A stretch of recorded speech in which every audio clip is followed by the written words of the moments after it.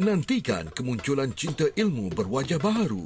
Mengekalkan Ustaz Roslan Muhammad, Profesor Madia, Datuk Dr. Farid Rawi Abdullah, kembali semula Datuk Badli Shah Alauddin, mempersilakan Ustazah Zawiyah Hassan, Ustaz Azhar Ghazali, Ustaz Said Nur Hisham Tuan Padang, Dr. Ahmad Kamil Jamili dan Ustaz Syarizan Daud akan datang demi perjuangan ilmu di TV Al-Hijrah.